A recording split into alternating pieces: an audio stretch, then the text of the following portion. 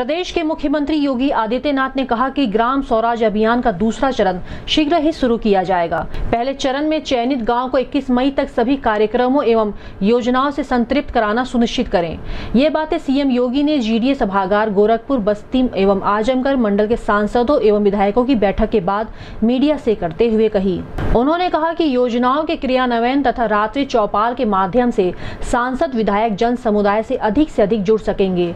मुख्यमंत्री ने कहा कि प्रदेश में प्रधानमंत्री आवास योजना ग्रामीण में आठ दशमलव पचासी लाख आवास पिछले एक वर्ष में बन रहे हैं। इन्हें उज्ज्वला योजना में गैस कनेक्शन, सौभाग्य योजना में निःशुल्क विद्युत कनेक्शन, मनरेगा में सौ दिन का मानदेय और शौचालय का अतिरिक्त लाभ दिया जाएगा। वर्तमान सरकार के एक साल के कार्यकाल में कानून एवं व्यवस्था सुदृढ़ किया गया है। उन्होंने कहा कि दस हज़ार से एक लाख रुपए तक किसानों को कर्ज माफ़ी का लाभ दिया गया है। सैंतीस लाख से अधिक पात्र व्यक्तियों को राशन कार्ड दिया गया है। पचपन हज़ार मजरों का विद्युतीकरण किया गया है। 40 लाख सौभाग्य योजना के तहत निशुल्क विद्युत कनेक्शन दिए गए हैं। गंभीर बीमारियों के इलाज के लिए एक से पाँच लाख रुपए तक की आर्थिक सहायता दी गई है। उन्होंने कहा कि निकट भविष्य में आयुष्मान भारत योजना संचालित की जाएगी। इसी प्रकार अन्य लाभार्थी परक योजनाएँ संचालित करके लोगों को लाभान्वित किया जाएगा। उन्होंने कहा कि प्रत्येक संसदीय क्षेत्र में 25 करोड़ रुपए से सड़क बनवाई जाएगी। सांसद, स्थानीय विधायक के साथ बैठक कर ऐसी सड़कों का प्रस्ताव दें। इसके अलावा क्षेत्र की बहुप्रतीक्षित मांग जैसे कि महाविद्यालय पॉलिटेक्निक आईटीआई, सीएससी ओवरब्रिज का प्रस्ताव भी दे। महाराज जी! महाराज जी! महाराज जी! महाराज जी! हम लोग हाँ थोड़ा पीछे हट जाइए?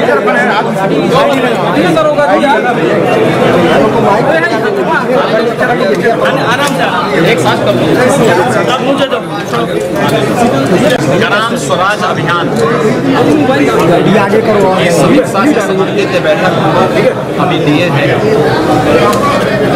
इसका बहुत सकारात्मक प्रभाव रहा है। सभी मान्य जनप्रतिनिधियों के भी अपने बहुत अच्छे अनुभव इसमें रहे हैं। और प्रदेश सरकार के लाभार्थी परक योजनाएँ सीधे ज़मीन पर अंतिम पायदान पर खड़े हुए व्यक्ति तक पहुँचाने के से एक बहुत अच्छी योजना थी। और इस योजना का लाभ आम जन की और जनप्रतिनिधि ने संगठन के पदाधिकारी ने गाँव में रात्रि निवास किया। जनधन योजना, उज्ज्वला योजना सौभाग्य योजना, उजाला योजना, प्रधानमंत्री मुद्रा योजना, प्रधानमंत्री जीवन ज्योति और प्रधानमंत्री सुरक्षा बीमा योजना, राशन कार्ड उपलब्ध करवाने, यानी पीडीएस सिस्टम में हर व्यक्ति को खाद्यान्न उपलब्ध हो सके इसके लिए, पेंशन योजनाओं का लाभ, और भी अन्य प्रधानमंत्री आवास योजना का है।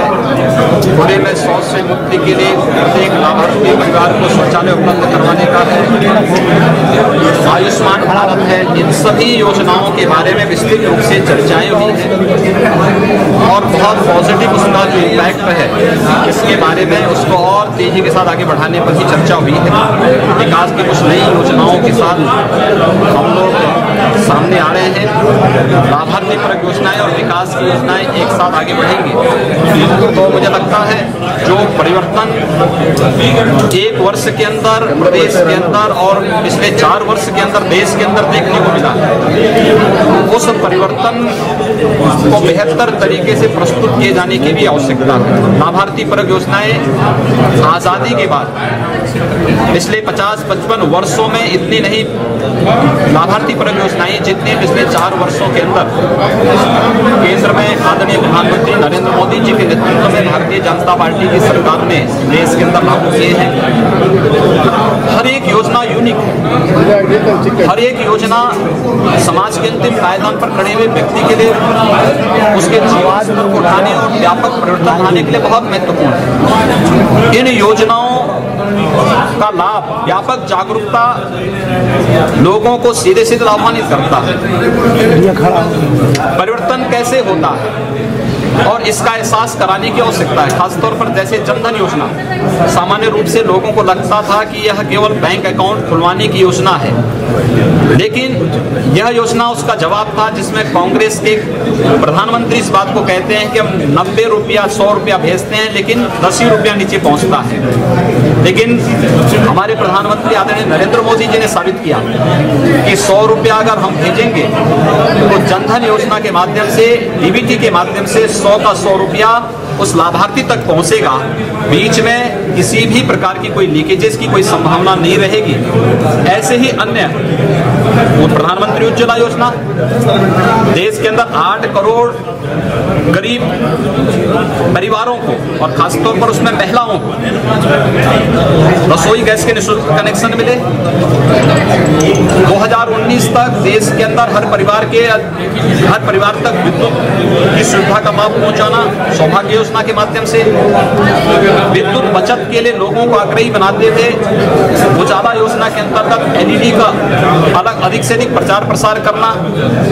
नौजवानों के लिए प्रधानमंत्री मुद्रा योजना, उनके स्वावलंबन के लिए it स्टैंड अप के माध्यम से हर बैंक की शाखा को अनुसूचित जाति, जनजाति और महिला उद्यमी को एक करोड़ तक का लोन आसान किस्तों पर उपलब्ध करवाना या फिर केवल बयालीस रुपये में चार लाख तक की बीमा योजना, प्रधानमंत्री जीवन ज्योति या प्रधानमंत्री सुरक्षा बीमा योजना और आयुष्मान भारत के अंतर्गत इस देश के 50 करोड़ लोगों को पाँच, एक वर्ष में पाँच लाख तक की स्वास्थ्य बीमा की योजना से आच्छादित करना। ऐसी तमाम योजनाएँ हैं।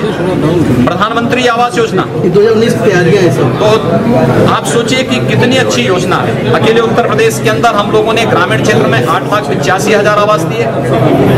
शहरी क्षेत्र में तीन लाख साठ हज़ार आवास उपलब्ध कराए। चालीस लाख परिवारों को शौचालय उपलब्ध करवाए।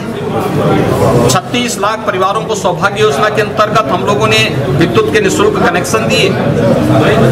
जिन लोगों को मिल रहा है उनके साथ बैठना, इसका एहसास होना कि हाँ योजना का लाभ मिला है। साथ साथ व्यापक जागरूकता के माध्यम से लोगों को बताना कि इसमें ये जो सुविधाएँ हैं, ये शासन के द्वारा आपके लिए, आपके जीवन स्तर को उठाने के लिए दिया गया है। इसमें किसी प्रकार के पैसे की कोई लेन देन नहीं होना। ये जानकारी होना ही महत्वपूर्ण था और इसी बारे में हम लोग बैठे थे। मैंने जनप्रतिनिधियों के जो अनुभव थे, उसको शेयर किया गया। आगे के जो कार्य योजना थी विकास की विभिन्न योजनाओं को लेकर के जो हम चल रहे हैं, उनको लेकर के बाढ़ से बचाव की दृष्टि क्या योजनाएँ बन रही है, उसके बारे में चर्चा करनी थी। बैठे थे बहुत सार्थक। अच्छे